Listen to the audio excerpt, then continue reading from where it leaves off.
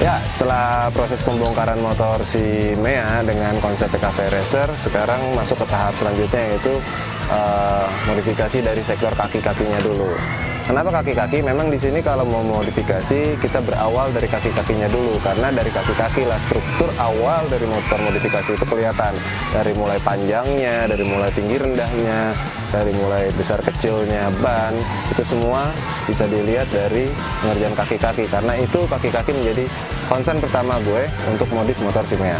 Apa aja yang gue kasih buat motor ini, uh, kita bisa lihat nantinya sok depan dari dari motor Mega Pro Simea akan gue ganti menggunakan shock bison. Kenapa? Karena shock dari Mega Pro itu menurut gue terlalu kecil dengan diameter cuma 31 mm kita ganti ke shock bison yang diameter 41 mm nah swing arm belakang juga gue ganti swing arm belakangnya dari Honda Mega Pro ini kurang lebih cuma 42 sampai 44 cm panjangnya. Nah, kita akan ganti dengan swing arm handmade bikinan Street Art Custom kurang lebih panjangnya sekitar 54 sampai 55 cm. Ya kurang lebih seperti itu 54 sampai 55 cm which is motor ini akan lebih panjang wheelbase-nya. Nah swing arm ini juga udah gue lengkapi dengan bosing arm dari nilon atau teflon.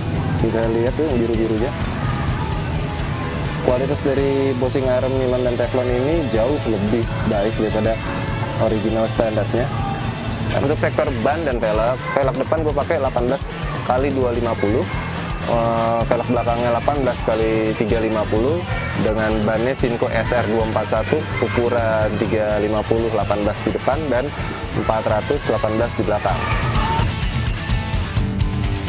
Udah gue repaint tujuannya untuk nyetel velg supaya lebih terlihat lebih baik bagus lagi.